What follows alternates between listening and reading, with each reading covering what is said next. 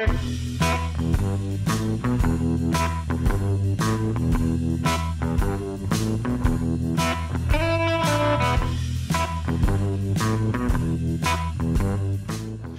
this is Brian Casey of the Imaging Wire. We are here at RSNA 2024 and we are in the booth of Mach 7 Technologies with Mike Lampron, CEO of Mach 7. Mike, thanks for being with us. Yeah, thank you, Brian. Thanks for having me.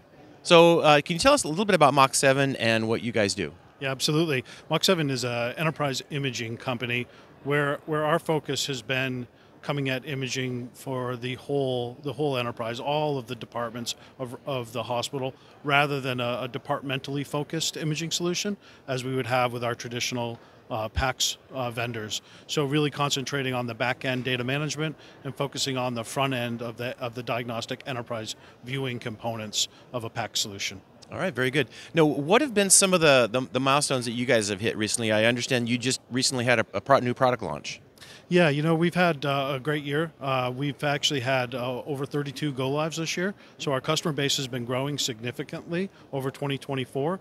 Um, we, we have done some, some new product launches. We've, uh, we've recently uh, uh, launched a product launch called, called Unity View.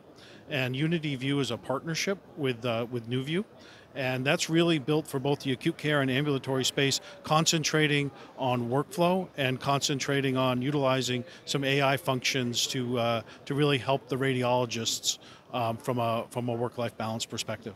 Very good. Now, now last year you scored a technology provider deal with the VA, uh, which you know is a pretty big healthcare network. How is that going? Yeah, yeah, that was the uh, National Teleradiology Program award uh, from the from the VA, and uh, it's going great. Uh, we're in the middle of uh, both deployment and uh, again commissioning of that program. Um, and again, this is with the National Teleradiology Program, not specific VISNs. So. So this is for all the radiologists that are part of that program across all of the VA. We're very excited about it, and and more to come on that as we go into 2025. All right, very good. Now we're here at RSNA in Chicago. What are you highlighting?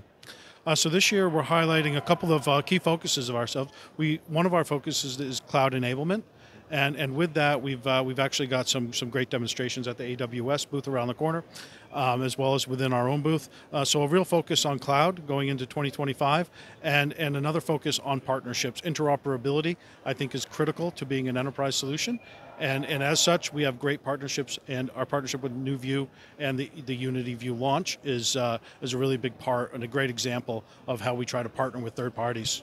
What can we look forward to from Mach 7 in 2025? More partnerships and, and more move to the cloud? That seems to be a big trend in the industry right now.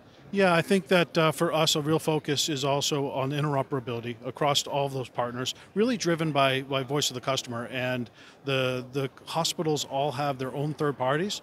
And I think our, our view is to try to give those hospitals the, the best uh, workflow that we can. And we look at it not just as a, as a Mach 7 initiative, but a hospital driven initiative to give them the best value for uh, what they've already invested in. So that's how we really consider ourselves a platform.